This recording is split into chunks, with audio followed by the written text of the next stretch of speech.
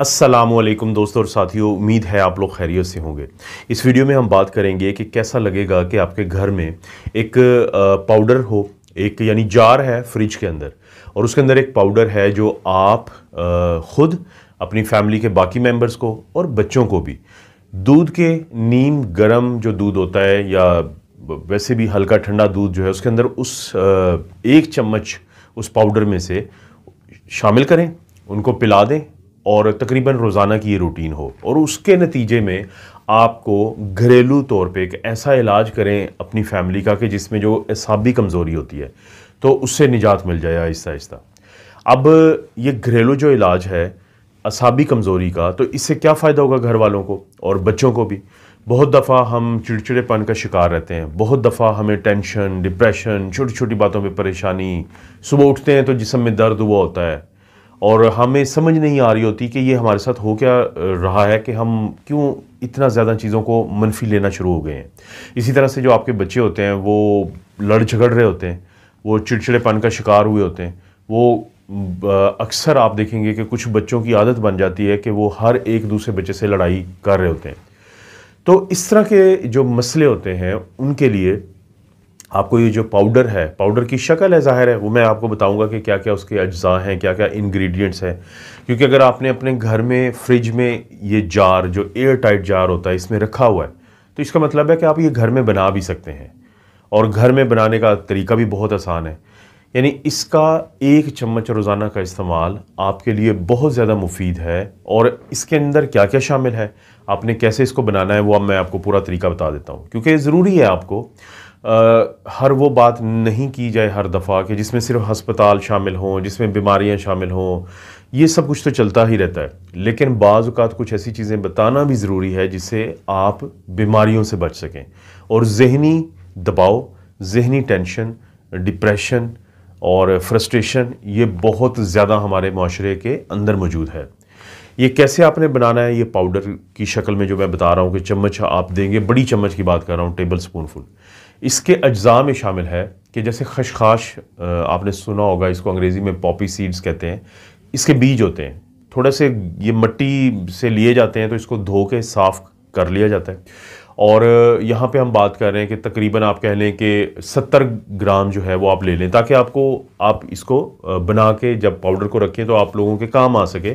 ज़ाहिर है कि फैमिली के काफ़ी मेंबर इसको इस्तेमाल करना चाहेंगे। तो पहला क्या है कि वो है खशखाश के बीज या पॉपी सीड्स दूसरे नंबर पे है बादाम. आपको पता है कि हर जगह पे ये आ, मिल जाते हैं. इसमें ऐसी कोई बात नहीं है. ये भी आप सत्तर ग्राम लें और इनको आप कूट सकते हैं. यानी एक पाउडर की शक्ल में लाने से पहले आपने इनको इनको थोड़ा पीस लेना है. इसको थोड़ा सा आपने कूट लेना है. ये जो सत्तर ग्राम बादाम हो गए. तीसरी चीज़ जो है वो है खोपरा जिसको कोकोनट कहते हैं. और कोकोनट डालने का क्या फ़ायदा होगा कि इसकी वजह से बहुत अच्छा टेस्ट आ जाएगा। ये जो आप एक चम्मच डालेंगे, एक बड़ा जो चम्मच होता है टेबल स्पून फुल छोटे, या चाय के चम्मच की मैं बात नहीं कर रहा। बच्चों के लिए आप चाय का चम्मच इस्तेमाल कर सकते हैं। तो उसको अगर आप थोड़ा सा टेस्टी बनाना चाहते हैं, आप थोड़ा उसमें मज़ा देना चाहते हैं तो वो जो है, वो कोकोनट या खोपरा जिसको हम कहते हैं, उसको भी आप थोड़ा कूट लेंगे ताकि जब आप पाउडर आगे, अगले फ़ेज़ में मैं बताता हूँ कि कैसे बनाते हैं मिला के तो वो आपके लिए आसानी हो जाएगी। उसके बाद जो है सफ़ेद तिल। इसको सेसम सीड्स कहते हैं। बहुत ही ज़्यादा फ़ायदे की चीज़ है। और इसके बारे में अक्सर आप सुनते रहते हैं। मुख्तु किस्म की वीडियोज़ में इसका ज़िक्र होता है। और बहुत ही ज़्यादा काम की चीज़ है। तो ये भी इसके अंदर शामिल है। इसके बाद है कद्दू के बीज। पम्पकन सीड्स हर तरफ़ मिल जाते हैं। यानी पहली तो बात यह है कि इसके अंदर जो मुख्तलिफ़ अज्जा मैं आपको बता रहा हूँ तो ये वो अज्जा हैं जो आपको पंसार की दुकान से जाके या मार्केट से बहुत आसानी से मिल जाएँगे, कहीं दूर आपको नहीं जाना पड़ेगा। तो कद्दू के बीज या जो पम्पकिन सीड्स हैं, वो भी आप 70 ग्राम इसमें लेंगे। और जो छठी चीज़ है, वो उसको हम कहते हैं लेटस सीड्स या काहू के बीज। ये उर्दू में इसको काहू के बीज कहते हैं। तो इसको आमतौर पे पीसने की फौरी ज़रूरत नहीं होती। इसके बीज ही इस तरह की हालत में होती है कि आप पीसेंगे नहीं भी तो इसको आप साइड पे रख सकते हैं।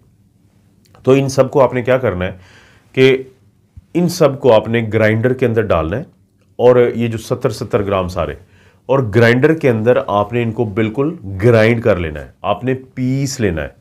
अब जब एक दफ़ा आप ये पीस लेंगे, एक पाउडर की शक्ल हो जाएगी तो फिर एक air tight jar.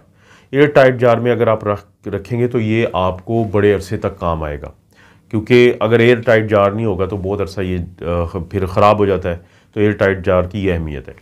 तो इस पाउडर को आपने कहू के बीज के साथ मिक्स करके, क्योंकि मैंने पहले जैसे बताया कि उसको पीसने की ज़रूरत नहीं होती ग्राइंड करने की ज़रूरत नहीं होती तो इसको एयर टाइट जार में रखें। और जब भी आपने खुद इस्तेमाल करना है, एक बड़ा चम्मच या बच्चों को एक छोटा चम्मच रोज़ाना देना है, दूध में, नीम गर्म दूध हो तो बहुत ज़्यादा बेहतर होता है, उसमें हल करके।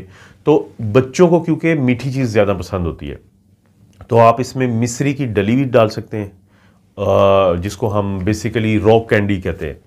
या फिर आप उसको पीसी हुई मिश्री लोगों ने कूटा हुआ होता है मिश्री को। और चट्टू वटा आपको पता है एक बड़ा मशहूर एक चीज़ है, पाकिस्तानी घरों में पड़ी होती है कि जिसमें आप इस तरह की चीज़ों को आप पी सकते हैं। तो दोनों हालतों में आप ये डालेंगे तो उससे, उसमें स्वीटनेस आ जाएगी, मिठास आ जाएगी, लेकिन ज़ाहिर है शुगर के मरीज़ और वो लोग जिनका वज़न ज़्यादा है, वो मिश्री को अवॉइड करेंगे, वो परहेज़ करेंगे। तो ये जो चीज़ जो मैंने आपको पाउडर का बताया है ये ये पूरी दुनिया में यानी जब हम इस तरह की चीज़ों की बात करते हैं तो आम तौर पे ये रवायती दवाइयाँ होती हैं। ये इंडिया पाकिस्तान क्योंकि ज़ाहिर है पहले मुतहदा पाकिस्तान इंडिया पा, मुतहदा इंडिया था ये सब कॉन्टीनेंट कह लें बर बर सग़ीर। हज़ारों सालों से ये चीज़ इस्तेमाल में रही है असाबी कमज़ोरी के लिए। कि कोई बहुत ज़्यादा चिड़चिड़ापन का शिकार होता था तो इसको ये पाउडर बना के तो फिर दे दिया जाता था दूध में डाल के। ज़ाहिर है, ये सब कुछ भी हमेशा से मौजूद था और दूध भी हमेशा से मौजूद था इन इलाकों में। तो असाबी कमज़ोरी का अगर आप शिकार हैं तो आप अपने डॉक्टर से तो रबता करेंगे। ज़ाहिर है, वो हो सकता है आपको उसकी जहनी सुकून की दवाइयाँ भी दे दें एंटी डिप्रेशन भी दे दें। लेकिन मेरा आपको एक मशवरा है कि आप ये जो पाउडर की शक्ल है, ये भी ज़रूर ट्राई करें। और आप देखेंगे कि कुछ अरसे के बाद इसके जो फ़ायदे हैं, वो आपके सामने आना शुरू हो जाएँगे। और कोशिश करें कि दूसरों को भी ये चीज़ बताएँ। कैसे बता सकते हैं कि ये जो वीडियो है, इसका नीचे आप देखें, शेयर लिखा हुआ है, उसको क्लिक करें तो वहाँ पे कॉपी लिंक है। उसको लिंक को कॉपी करें और कहीं पे भी लोगों से शेयर कर दें। वीडियो को लाइक करें, चैनल को इसलिए सब्सक्राइब कर लें कि इस तरह की वीडियोज़ आपको मिलती रहती हैं। आप अपना और अपनी फैमिली का ख्याल रखें, अल्लाह ताला आपको और आपकी फैमिली को हर किस्म की बुराई, बीमारी और आजमाइश महफूज रखें।